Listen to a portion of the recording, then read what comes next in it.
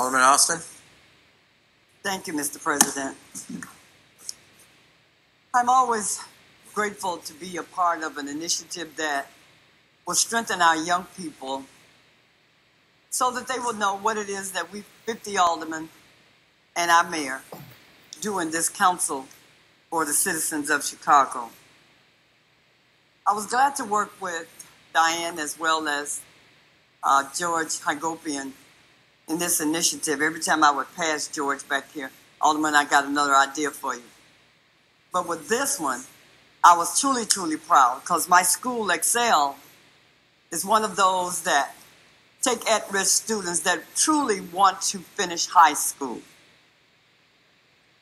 They've been hindered in many ways, but they said that I can do it. I want to congratulate all of our students for participating, but especially to Lavon Halloway. I can say that you've done an outstanding job. You make our ward very, very proud. Very proud.